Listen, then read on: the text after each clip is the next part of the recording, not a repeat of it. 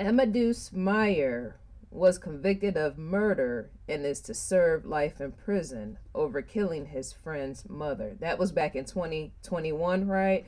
He was recently convicted, right? Charged and everything. He's going to serve life, serving life in prison for killing your friend's mother. What what could have occurred? As in, what could have happened? What was so bad for someone to want to kill their friend's mother, right? Why would I want to kill my friend's mother, right? Usually, people be friends with their friend's mother, so something must have went wrong or was off or something, right? He killed the mother with a baseball bat. Amadeus will be under supervision for the rest of his life, right, for the murder of the friend's mother. He pleaded guilty to first degree intentional and premeditated murder. Like, subscribe, ID in the Discovery channel. Yes, ID in the Discovery channel. The links are provided below. Get that Discovery Go app as well as the ID Go app. You might want to get those two things combined and make them into one, and I'm a Discovery influencer. Right. Back in 2021, friend to Amadeus found his mother dead in the garage. Yes, left her dead in the garage of the home, right? The mother died from trauma to the head the garage, right? Footage was picked up, a camera picked up footage showing Amadeus leaving the home of the friend, right? Where the mother was still in the garage dead, right? The footage picked him up leaving the home with the baseball bat. Same baseball bat he used to kill the mother, right? So Amadeus did confess, he confessed to using the baseball bat to scare his friend's mother, right?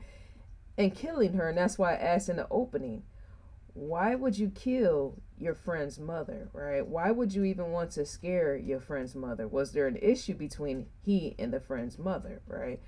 What could have occurred? And I asked that already. If you're using a baseball bat to scare the mother, is to say he must have disliked the mother or something, or, or something else. Because I don't see most people walking around scaring other people's mothers with baseball bats, right? The victim is said to have fallen from steps within the home, hitting her head.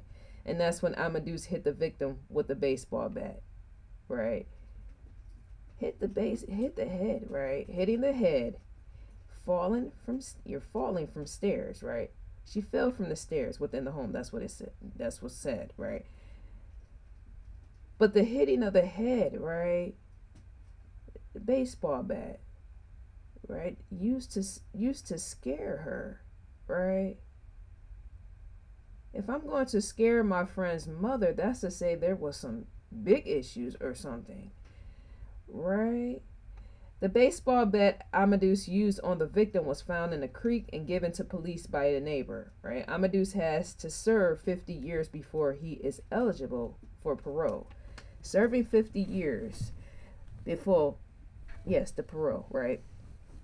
A life sentence, right, before eligible for parole, right? If you have to scare your friend's mother, what did the mother do? Right? Because most mothers, most mothers are usually mellow, right? Most mothers are usually laid back, and usually when they're older. How old he is, right? The mother is not that young, or the mother wasn't that young before death. So I'm sure the mother wasn't walking around being violent towards him, right? Or mistreating him. So that's where something's off or something. We're on investigationdiscovery.com. The ID logo stands in the far left corner. Leaving her dead in the garage. Right. So, dear viewers, let me know what you think could have occurred. Most people don't scare their friend's mother. Didn't I say that already? If you have to scare your friend's mother, how come he didn't use a baseball bat to scare his friend? I'm sure the friend was very upset, right? You come home and you find your mother dead in the garage, right? Yes. So, dear viewers, let me know what you think and feel about the video. May you enjoy your day. I will, in fact, enjoy mine, and I'm gone for now. One.